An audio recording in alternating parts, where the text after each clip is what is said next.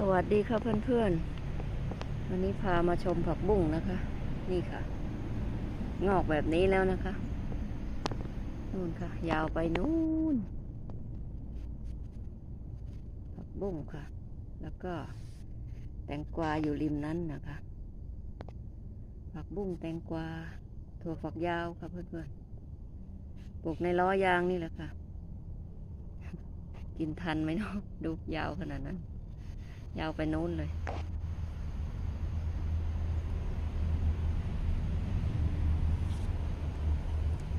กำลัง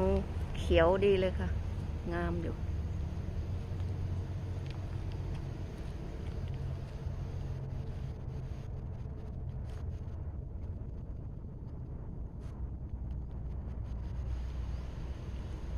งอกดีค่ะเพื่อนๆ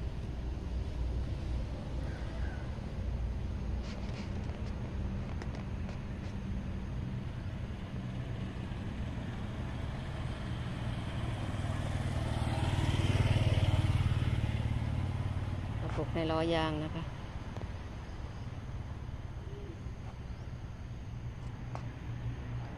ยาวไปนู้นค่ะ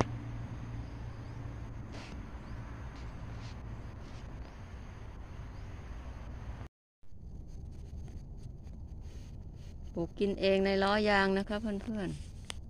ๆ ผักบุ้งแตงกวาถั่วฝักยาวค่ะกำลัง นี่เราได้ยินเสียงกระลอก ตัวอยู่ไหนอะ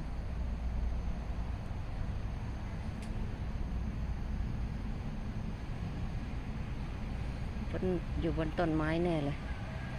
จะมาชิมกล้วยเราแน่ๆเลย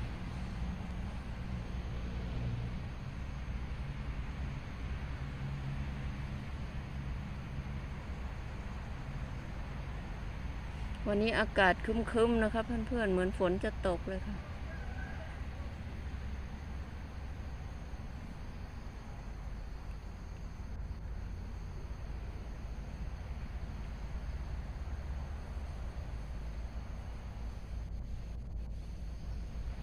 เช้ามาก็ต้องรดน้ำค่ะเพื่อนๆ ผักบุ้งก็ปลูกไม่ยากเนาะ